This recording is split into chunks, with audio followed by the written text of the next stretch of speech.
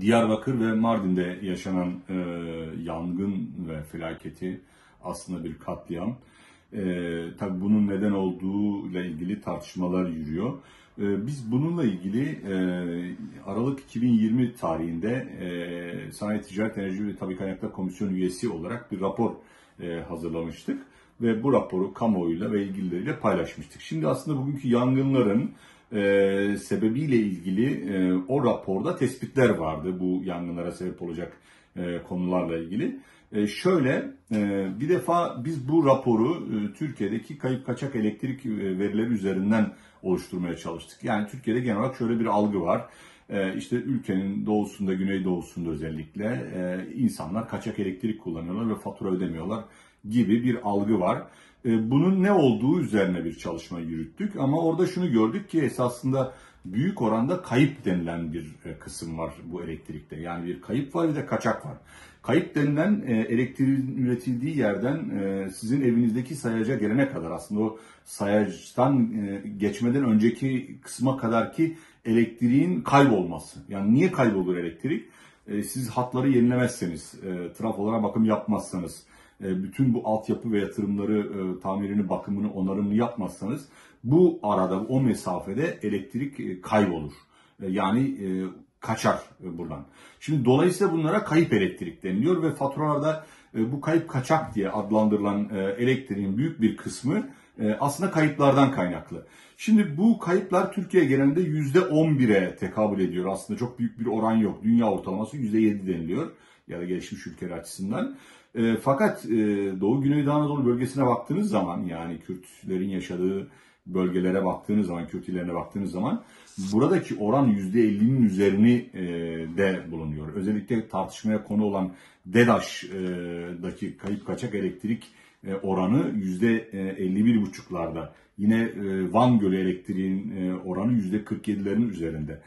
Tümüyle bölgedeki kayıp kaçak elektrik konusu bu. İşte buradaki kayıplar biz o zaman DEDAŞ yetkilileriyle, VEDAŞ yetkilileriyle, ilgili bakanlıklar hatta komisyonda tartışma konusu oldu. Bu bütün bunlardan aldığımız, yapmış olduğumuz görüşmeler neticesinde öğrendiğimiz ve vardığımız sonuç şuydu.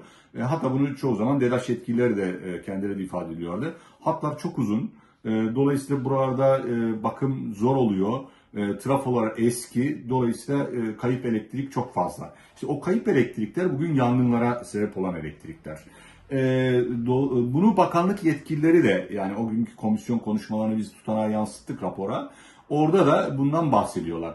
Bunların bütün sebebi ne? Bunların bütün sebebi e, elektrik e, dağıtım işinin özelleştirilmesi ve bu özelleştirmeyi alan şirketlerin e, sözleşme gereğince yapması gereken yatırımları, bakımları, onarımları yapmayıp tümüyle fatura kesip parayı cepten atmaları. Yani fazla kar etmeye çalışmaları. Buradan kaynaklı olarak bölgedeki elektrik hatları ve trafoları oldukça eski. Şimdi tabii bir gayri resmi bir bilgi olarak da şu aktarılmıştı bize. Bu şirketlerin işte kimisi 20 yıl, kimisi 30 yıl, kimisi 50 yıl e, üzerinden sözleşmeler yapmışlar ve bu sözleşmelerin bitmesine az bir zaman kaldı. E, işte bu az bir zaman kaldığı için de e, bu kadar devasa yüklü yani trafo yenileme gibi ve benzeri şey gibi yatırımları şimdi yapmak istemiyorlar. belki sözleşmeleri yenilenirse ya da yeni şirketler olursa onlar yaparlar üzerinden bir gayri resmi bilgi de edinmiştik. E, tabii bütün bu verileri biz e, elde ettik ve bunları kamuoyuyla paylaştık. Bir, mecliste e, basın toplantısı düzenleyip bunu aktardık bu raporu. İki, raporu kamuoyuna ve basına gönderdik. Üç, e, bu raporun ve sonucunu e, mecliste genel kurulda tutanaklara geçecek şekilde anlattık, aktardık. Dört, buradaki ilgili kurum ve kuruluşlar, VEDAŞ, VEDAŞ dahil olmak üzere bunlara da bu raporu gönderdik. Yani gereğinin yerine getirilmesi konusunda ilgili bütün kurum ve kuruluşlara raporumuzu aktardık. Fakat gelinen noktada ne oldu? 2020 yılında biz bu tespitleri yaptık, rapora dönüştürdük e, ama gelinen 2024 e, tarihinde işte bugünkü Diyarbakır ve Mardin'deki felaketi yaşıyoruz. Yani o günden bugüne herhangi bir yatırım ve düzeltme söz konusu olmadığı gibi tam tersine daha da geriye gidiş, daha da eskiyen hatlar, daha da eskiyen trafolar ve buradan kaynaklı olarak da çıkan yangınlar bize bu sonucu e, meydana getirdi maalesef ki.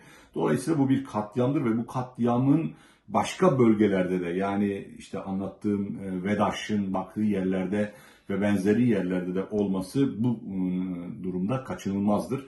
Bütün bunlara dikkat çekmek istiyoruz ve buradan kaynaklı olarak da raporumuzu tekrar kamuoyuna hatırlatmak istedik.